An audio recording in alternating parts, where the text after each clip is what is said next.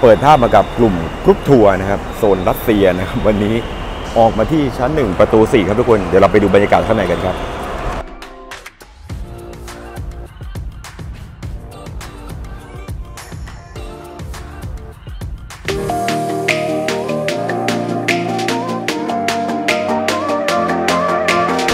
ตอนนี้นอกจากชั้น 1 ประตู 7 นะทุกคนที่จะเป็นจุดออกของกรุ๊ปทัวร์นะครับนี่คือชั้น 1 ประตู 4 ที่เป็นจุดออกของกรุ๊ปทัวร์เหมือนกันนะมีหลายโซนนะครับ เวิ้งนี้นะครับเริ่มเป็นอีกจุดที่น่าสนใจนอกจากชั้น 1 ประตู7นะครับผมกำลังเดินสวนไปนะครับ จากชั้น 1 ประตู4นะครับไปชั้น 1 ประตู7ผ่านหมู่มวลกลุ่มกรุ๊ปทัวร์นะครับ ที่ข้างหน้ายืนรอไปอยู่แล้วนะอะทุกคนเลนส์ wide เท่านั้นฮะที่นี่จะเห็นบรรยากาศคนเยอะมากๆนะครับชั้น 1 ประตู7นะครับ ตอนประมาณบ่ายสามกว่าครับทุกคนแต่ผมพูดเลยไม่ใช่ว่าจะมีแต่กรุ๊ปทัวร์โซนรัสเซียทุกคนที่เห็นอยู่ข้างหน้าก็คือกลุ่มกรุ๊ปทัวร์โซนจีนด้วยนะครับที่มากันอย่างแบบอุ่นหนามากๆครับในช่วงเวลาประมาณบ่ายสามของวันที่ 17 มกรานะครับอะด้านนู้นทุกคนกำลังลงมาจากทางเลื่อน ข้างบนคือชั้น 2 ประตู8นะครับลงมาที่ชั้น 1 ประตู 7 กันอย่างนี้เลย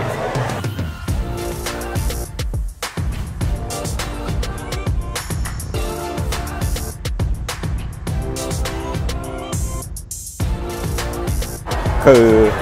พูดเลยนะฮะวันนี้นะครับตัวเลขวันนี้ที่เราไลฟ์กันไปนะครับประมาณเอ่อหนึ่งล้านสามนะครับกับ 2 อาทิตย์นะครับของผู้โดยสารที่เข้าไทยนะครับแต่ตอนนี้นะครับวันนี้นะครับรถทัวร์ยังเข้ามาไทยกันอย่างต่อเนื่องนะครับ แล้วก็เข้ามาอย่างหลากหลายหลากหลายมากๆฮะ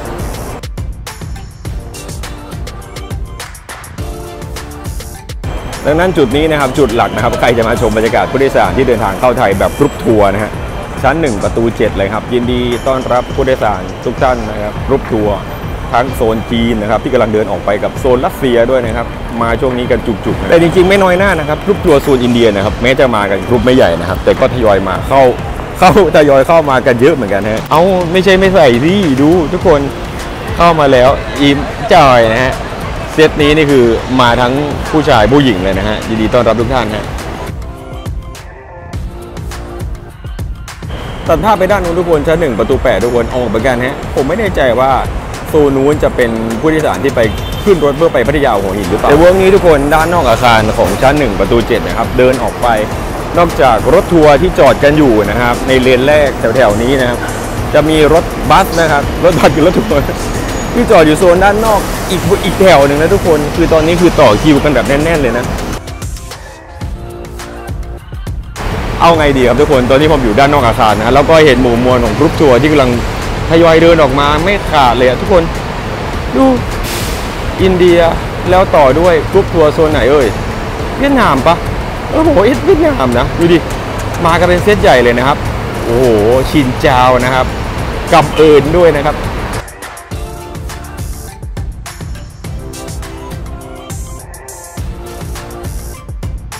ชั่วโมงนี้ต้องเรียนวายเท่านั้นครับทุกคน ผมกำลังเดินไปพร้อมกับพี่ๆที่เดินเข้ามาเดินทางเข้ามาในประเทศไทยนะครับ แบบกรุ๊ปทัวร์ทุกคนออกมาเลนนอกเลยนะ เดี๋ยวดูบรรยากาศการขึ้นรถบัสกันฮะ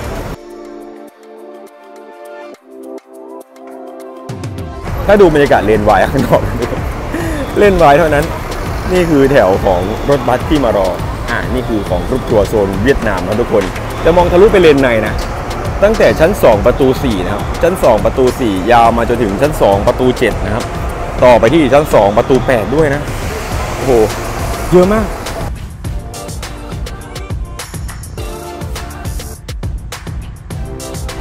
บรรยากาศช่วงบ่ายๆนะครับจะเป็นประมาณนี้แหละครับคือกรุ๊ปทัวร์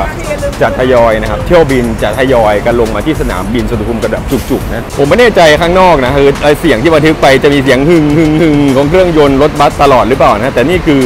รถบัสของกลุ่มกรุ๊ปทัวร์โซนอินเดียนะครับที่มามามารับผู้โดยสารที่นี่โอ้โหผมว่าเบาะเขานั่งสบายเหมือนกันนะนี่เบาะเอนเบาะนั่งสบาย legroom กว้าง headroom สูงนะฮะ นั่งสบายฮะผมพูดเลยว่าช่วงนี้นี่คือ แทบจะต้องแย่งที่กันเลยนะ รถบัสที่มารอรับรถทัวร์นะฮะนี่ยาวไปจนถึงข้างหน้าเลย แน่น ๆ ทุกล็อตเลยนะ แต่พูดเลยนะครับทุกคนนอกจากรถบัสแล้วก็จะมีรถตู้นะครับ ของกรุ๊ปทัวร์น่าจะเป็นเซตเล็กนะทุกคนมารับเหมือนกันนะจอดข้างนอกเลย ออกไปแล้วอีกหนึ่งคันนะครับที่ชั้นหนึ่งประตู8นะครับแต่เกิดอะไรขึ้นเหรอทุกคน ผู้โดยสารที่เป็นกรุ๊ปทัวร์ยังออกมาไม่หยุดนะทุกคนนี่ผมเดินย้อนกลับมาอีกรอบที่ชั้นหนึ่งประตู 7 ด้านนอกอาคารนะเดินวนอยู่อย่างนี้ฮะเดินวนอยู่อย่างนี้ครับเพราะว่ากลุ่มกรุ๊ปทัวร์บุกไทยเยอะจริง นี่คือกลุ่มกรุ๊ปทัวร์ส่งเวียดนามนะครับ ออกมาตรงจุดหลักนะครับ ชั้นหนึ่งประตู7นะครับยินดีต้อนรับนะครับ นี่คือเดินสวนกันเยอะมาก เยอะอย่างนี้เลยโอ้เห็นใจพี่แท็กซี่นะต้องจอดรอแบบนี้ ต้องจอดรอแบบนี้แต่ว่า เป็นเรื่องปกติครับไปครับตามไปดูข้างในกันหน่อยสถานการณ์ตอนนี้เนะครับนักท่องเที่ยวที่เดินทางเข้าไทย ผมคิดว่าน่าจะมีโอกาสแตะ3ล้านได้อย่างที่เราคาดหวังกันไว้เอง ไม่เกี่ยวกับใครเลยนะเดือนละ 3 ล้านนะครับส12 เดือนก็ 36 ล้านอย่างน้อย ดังนั้นปีนี้ตั้งเป้าสัก 40 ล้านก็ไม่น่าจะเกินไปนักนะครับ กับจำนวนผู้โดยสารที่นี่ผมลองช็อตมากๆเลยนะ ที่กำลังเดินทางเข้ามาเที่ยวไทยกันแบบไม่หยุดนะฮะเข้ามาแล้วกลับมาเที่ยวกันอีกได้อีกเรื่อยๆเลยฮะ